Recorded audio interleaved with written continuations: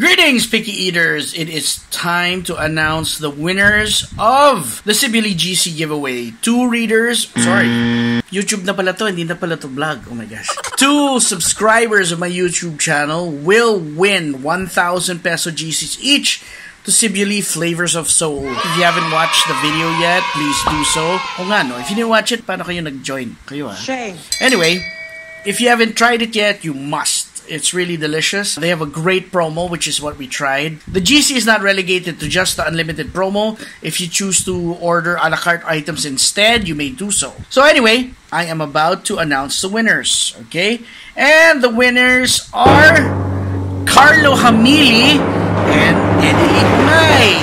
These are the two winners, right, based on the King Sumo draw. Guys, I'm going to be doing another giveaway next week, so I hope you've subscribed to my channel.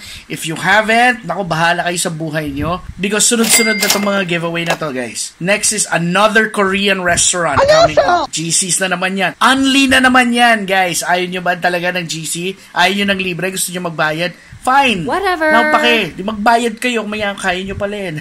Just check. I'm gonna be doing a, another GC giveaway by Thursday.